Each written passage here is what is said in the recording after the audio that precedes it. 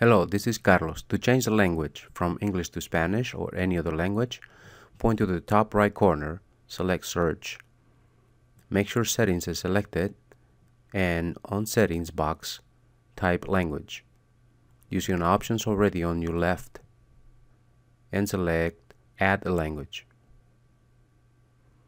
You see this box right here where you have English United States as a um, default. We're going to add a language so select that. Then we have a list of languages again add a language. We have the language name here or writing system. We're just gonna leave it on language name. We're gonna scroll down and find a new language. You can change to any of these languages here. We'll find Spanish Español select that and press open. We have one more option here and select Espanol in United States.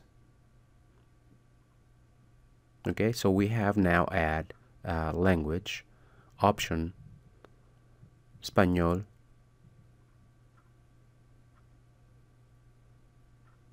select the options and download and install language pack.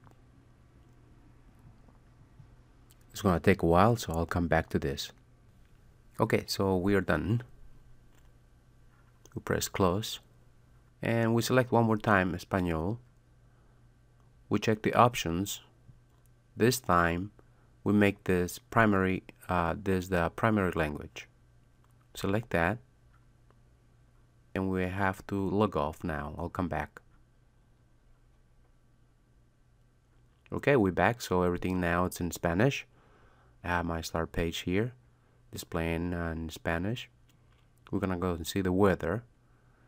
El tiempo de it's in Spanish, lluvia.